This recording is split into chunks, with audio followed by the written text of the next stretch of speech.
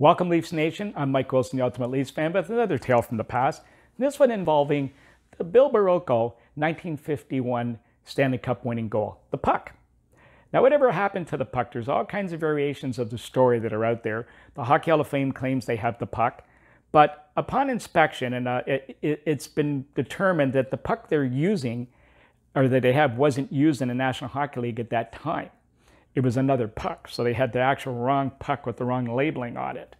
Now, there's a family in Hamilton by the name of the Donahues, and they claim that they have the puck.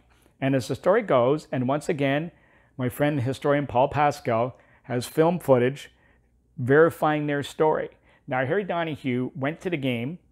His dad was with him, and when the puck game was over and the puck was sitting in the net, he saw, it, said to his dad, Dad, that puck is still sitting in the net. Nobody's grabbed it. Can I go and get it? His dad said, Sure, go ahead. So he ran down to the boards. There was no glass at the time. Security was pretty lax, as you can tell. He said to the security guard, Can I go and get the puck? And the guy said, Sure, go get it. So he ran over, and you can see in the film, there's a body going across where the players are all celebrating to go and get the puck, and he comes back. He went back to his seat, and on the way up to his seat, somebody offered him $20, which was a heck of a lot of money at that time for the puck. But other than that, they took it home. His dad found a local craftsman who made a holder for it, and it sat on their mantle ever since. The kids even used the puck in the basement playing hockey.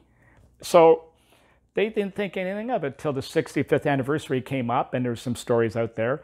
And then they stepped forward and they contacted me, and we hosted an evening where all the principals involved uh, showed up that evening.